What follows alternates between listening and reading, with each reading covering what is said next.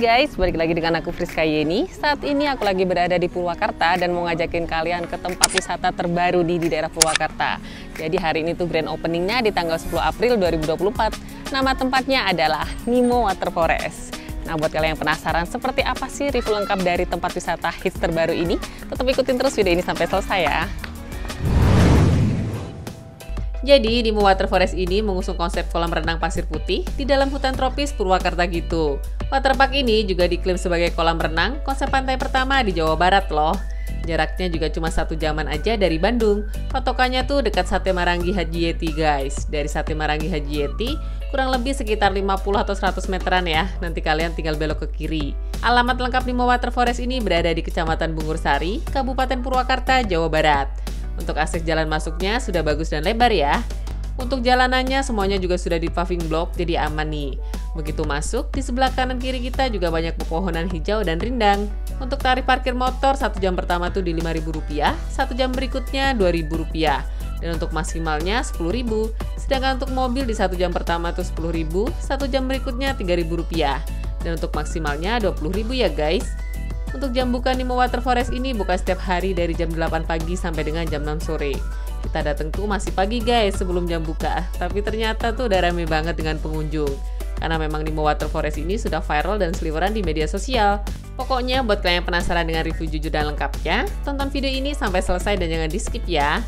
Area parkirnya berada di sebelah sini, kalian nggak perlu takut nggak kebagian tempat parkir, karena lahan parkirnya tuh sangat luas guys, dan semuanya juga sudah di paving ya, jadi kalau hujan tuh nggak bakalan becek. Cuma sayangnya di area parkirnya tuh panas banget, karena untuk pepohonannya tuh masih sedikit dan kayaknya juga baru ditanam gitu deh. Di area luar dekat parkiran juga terdapat stand makanan ringan dan juga minuman. Nah ini suasana sebelum loket tiket masuknya dibuka, udah banyak yang antri aja nih. Jadi kalau kalian ke sini, saran aku sih datang lebih pagi ya. Pembelian tiket masuknya ada di sebelah sini, pembayarannya kita bisa tunai dan juga kris. Karena kita datang pas grand opening jadi ada promo tiket ya. Untuk dewasa di weekday Rp40.000 jadi Rp35.000 dan di weekend dari Rp45.000 jadi Rp35.000. Kalau untuk anak-anak juga sama dan untuk detail harganya kalian bisa langsung pause aja video ini. Dan kalau kalian mau hemat ada juga paket bundle yang ditawarkan guys.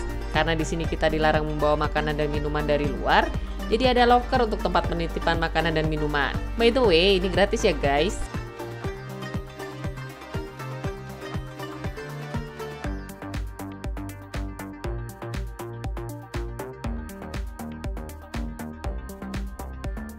Nah guys, saat ini aku sudah berada di area Nemo Water Forest. Tempatnya memang nggak terlalu luas ya, tapi bisa dibilang sih tempatnya estetik banget.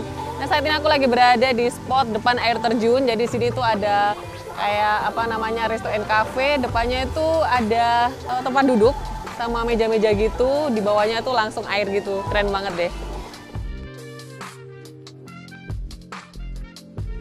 Seru banget kan kalian bisa makan dan minum santai sekaligus foto-foto kece dengan background air terjun. Eits, tapi jangan salah loh, kalau pas ramai pengunjung foto kalian akan gagal estetik. Jadi kalian harus pinter-pinter cari momen yang pas ya buat datang ke sini. Nah, buat kalian yang mau makan, bisa ke Bririso ini guys. Kamu bisa pilih mau di area indoor ataupun outdoornya. Kalau di indoor ini suasananya nyaman ya, karena sudah ber-AC. Menu yang ditawarkan juga cukup bervariasi, mulai dari menu makanan ringan dan juga berat. Harga menunya sendiri juga terjangkau kok, mulai dari 20.000 sampai dengan 40 ribuan. Ada juga paket hemat yang ditawarkan. Nah ini aku pesen pisang bakar coklat keju sama nasi ayam saus barbecue dan kita mau pilih tempat duduknya tuh di area waterfall restonya. Meskipun panas banget, tapi nggak masalah ya, karena kita mau sekalian foto-foto estetik gitu.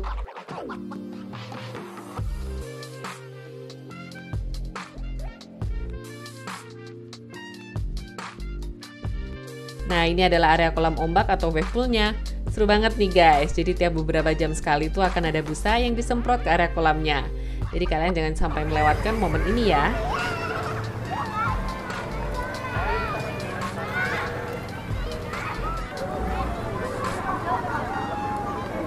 Oh iya, buat kamu yang mau sewa handboat, kalau nggak salah harganya tuh Rp20.000 per 15 menit.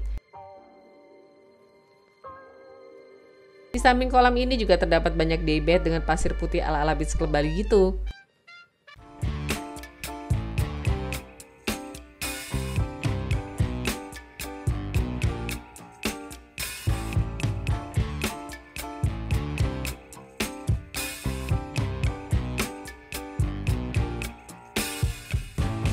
Kita lanjut lagi, di sini ada juga namanya Nimo Bar, cocok nih buat kalian yang mau ngecil sambil menikmati pemandangan karena areanya itu nyaman dengan tempat duduk semi indoor.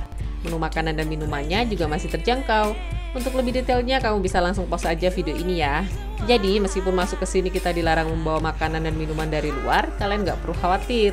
Karena ada banyak food court dan juga resto and cafe dengan harga yang masih masuk akal.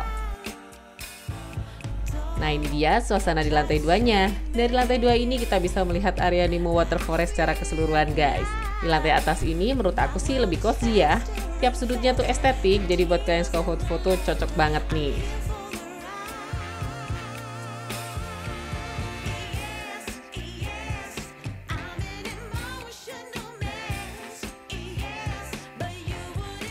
Area pasir putihnya yang cukup luas membuat vibes pantainya tuh makin berasa nih.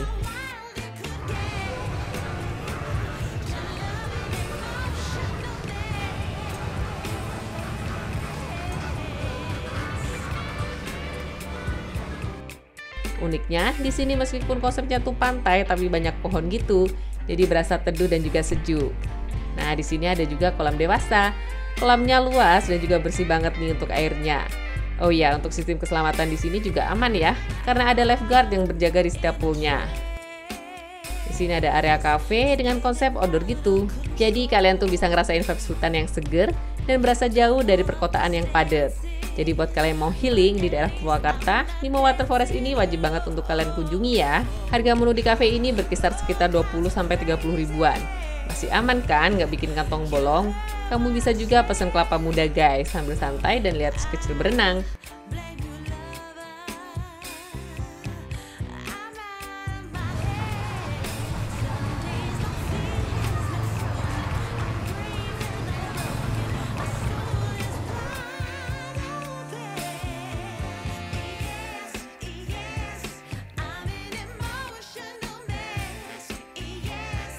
Di sekitar Wave ini juga ada banyak beanbag yang tersebar untuk tempat kita duduk santai dan juga menunggu anak-anak berenang.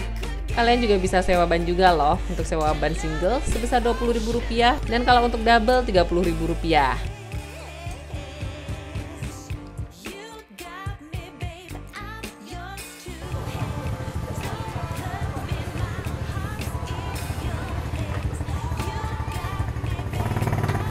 Oh ya, di sini juga ada wahana ATV. Biaya sewanya tuh Rp75.000.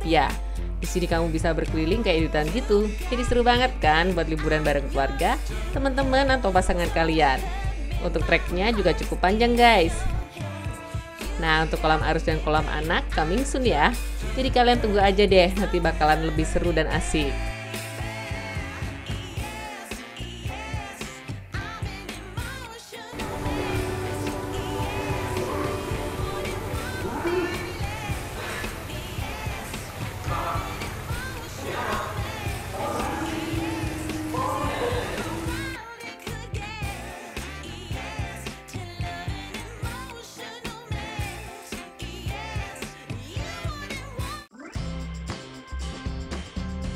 Fasilitas toilet dan ruang bilasnya juga ada, tempatnya cukup bersih dan terawat.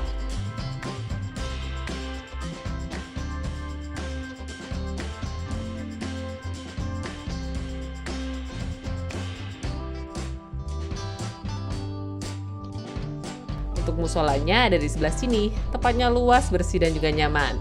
Dan sudah tersedia juga untuk perlengkapan sholatnya.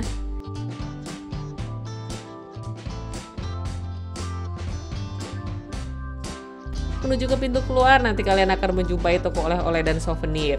Jadi, kalian bisa sekalian belanja oleh-oleh nih buat keluarga di rumah. Overall, Nemo Water Forest ini recommended ya buat kalian yang mau wisata dan liburan bareng keluarga karena nggak cuma bisa untuk berenang aja, tapi di sini kita juga bisa kulineran sekaligus menikmati pemandangan yang asri dan indah. Apalagi vibes pantai di tengah hutan tropisnya ini semakin membuat pengalaman liburan kita semakin menyenangkan. Oke okay guys, sekian review dari aku untuk wisata Nemo Water Forest Purwakarta. Semoga video ini bermanfaat ya buat kalian semua. Dan jangan lupa untuk terus support channel aku dengan cara like, comment, subscribe, dan juga share video ini ke seluruh media sosial yang kalian punya dan juga ke teman-teman kalian. Sampai jumpa di video-video aku selanjutnya. Bye-bye!